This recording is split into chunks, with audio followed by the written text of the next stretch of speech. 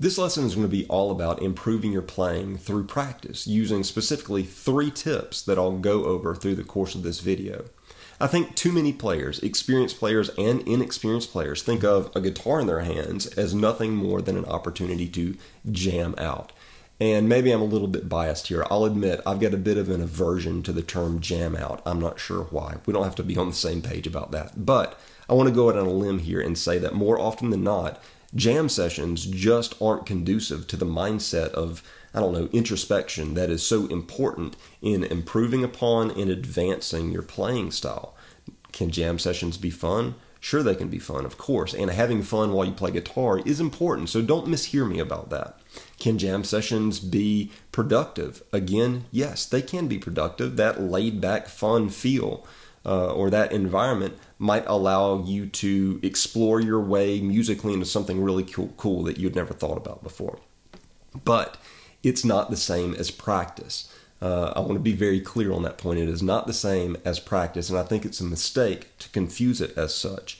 If, as a musician uh, or a member of a group, be that as the member of a garage band or as a hired gun or as a participant in something as simple as a jam session, if you want for what you bring to the table to hold value, then you're going to have to practice. And here, I'm going to be going through these three tips that I think will add to the value that you can give in those situations. Tip number one practice like you're playing Minesweeper. And in case I just lost you on this Minesweeper reference, for those of you who weren't uh, born in the 80s or so, uh, it's that it's that old Windows PC game where you click around on the boxes and you try to avoid the bombs. And if you hit a bomb, it explodes. Minesweeper, the, the analogy here, my point is that Minesweeper does not reward mistakes by allowing the player to continue forward. And sometimes I think that our practice should reflect that same unforgiving scrutiny of expectation that Minesweeper demands of its players. Do you have to practice that way all the time? No, you don't. But I think it's going to be fair to, at times, set aside chunks of time where you practice like you're playing Minesweeper. And here is specifically what I mean by that. Um, if you hit a wrong note while you're trying to learn something new, don't continue it, stop it, and start it over. Let me give you an example. One of the most difficult early riffs that I remember trying to figure out was What's My Age Again by Blink 182. As in, that riff. I'm assuming maybe you recognize that riff. Well, for some reason, that was really difficult for me to get under my fingers. And what I would more often than not play would be this.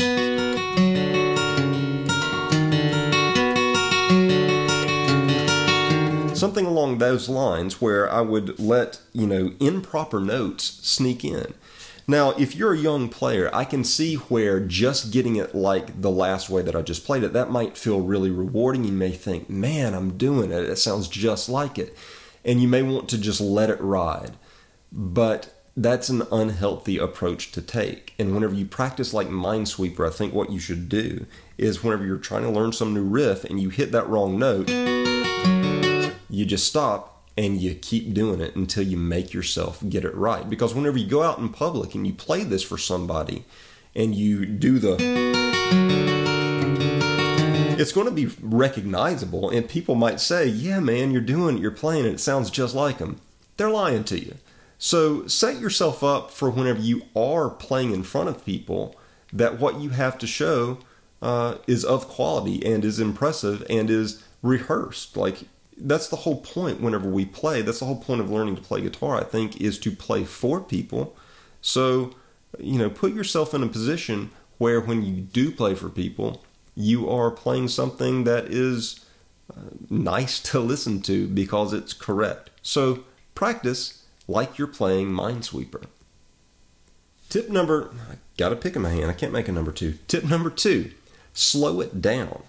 Um, and maybe that sounds common sense to you, but that's my next tip for you is slow it down. As in, if you're trying to learn something new and it's just getting the best of you, slow it way down and try it that way. As a player, I find myself still getting extremely frustrated when a riff or a pattern does not come to me effortlessly. I think, geez, you've been doing this for 20 years. Why can't you get it right? But it literally still happens to me all the time.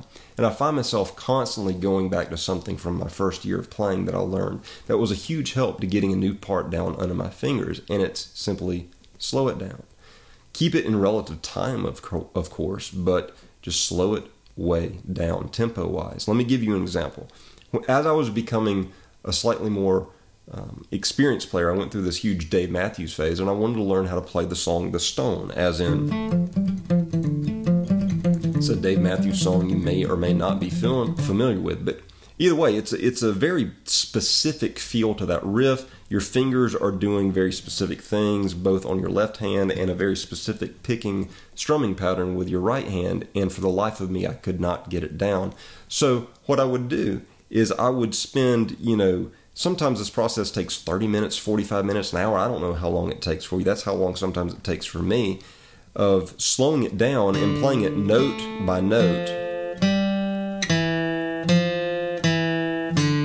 You get the idea there. Playing it note by note, allowing it to sink into my fingers. And I would do this for, again, long periods of time and, and I would get frustrated thinking uh, it's not making any progress. I would set my guitar down and walk away. And one thing I've learned is that practice almost always leads to progress, even if you don't see it in the moment. I think a lot of times with practice, we're like uh, frogs boiling in water. If you're not familiar with the analogy, if you put a frog in water and set it to boil, the water gets hotter and hotter and hotter, and the frog doesn't even realize it's happening because it's been in the moment the entire time. And I think that the same is true of our practicing. Um, so, oftentimes, what I would find after I had slowed it down and practiced it slow for a while and walked away from it, whenever I came back, that muscle memory had had a moment to sink in, and all of a sudden, what I had practiced and rehearsed slowly had sunk in and it had become far more fluid, and I could play it at speed if I wanted to. So I'm not saying that that works like magic every time for me or for you as you try it, but it is a um, it's a tip that I think is worthwhile. Tip number three: learn familiar melodies by ear as a form of practice. And here you'd be practicing a couple things. You'd be practicing actual mechanics of playing, but you'll also be practicing a very useful skill, which is learning to play by ear. I did a video a while back about uh, playing by ear where I offered some ideas on how to hone your ear, and this last tip builds off of that idea. So you should practice learning songs, like the melody of songs that you are familiar with by ear. Uh, the easiest way to do this is by picking well known songs, and that's relative, of course. Something that's very well known to me may not be known to you, but pick some song that is very well known to you, and then hunt and peck for what the melody is on your guitar. I would suggest as you start this out to first learn it on one string. For instance, let's go with Joy to the World. And I don't know why my mind went to Christmas there, but uh, I assume that Joy to the World is probably a melody that we're all familiar with, like. There's more to that melody, but we're going to end it there for the sake of brevity. That is it on one string. And, you know, the first time that I figured that out, I had to hunt and peck for it a lot. But I've gotten to the point where I can play play that melody on one string.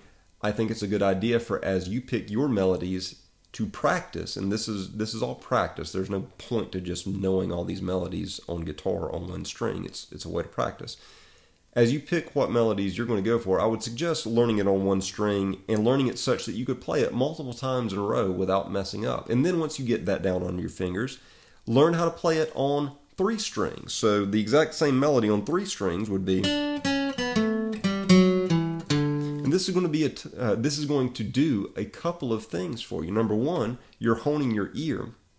Um, you're honing your ear uh, by figuring out the melody, and number two you're giving yourself a more intimate understanding of the relationship between the strings, the frets, and the notes that they create, which is an incredibly important skill to have on guitar. And what I suspect is that the more you do this, the quicker you'll find it, uh, or, or the quicker quicker you will find yourself recognizing tones and patterns and chords and chord shapes when you hear them, which again is an extremely important skill to have on guitar.